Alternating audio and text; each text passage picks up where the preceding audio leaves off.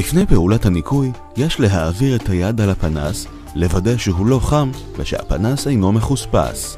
בפנס חם יש לקרר עם מעט מים. במידה והפנסים מחוספסים, יש להסיר את החספוס בעזרת נייר לטש 2000, אותו ניתן לרכוש בחנות חומרי בניין. אין להתחיל בפעולת הניקוי אם הפנסים מחוספסים או חמים. 1. פותחים את שקית מספר 1 ומנקים את הפנס הראשון ביסודיות באמצעות המגבון.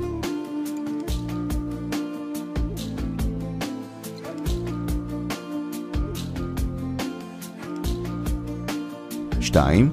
מנקבים את הפנס הרטוב ומייבשים ביסודיות באמצעות מטלית הבד המצורפת.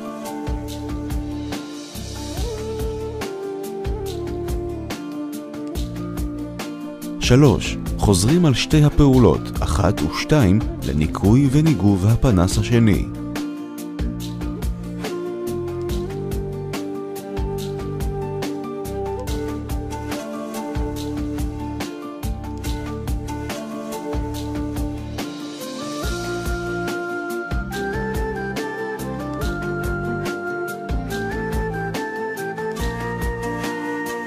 ארבע, יש לוודא ששני הפנסים יבשים לחלוטין.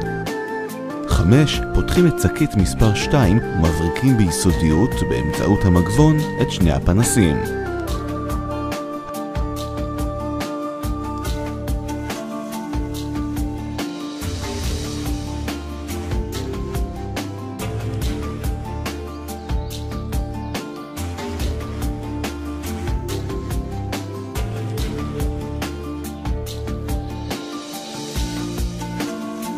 פנסים מבריקים יש להימנע מהרטבת הפנסים במשך חצי שעה ולהימנע משטיפת הרכב במשך שלושת הימים הבאים.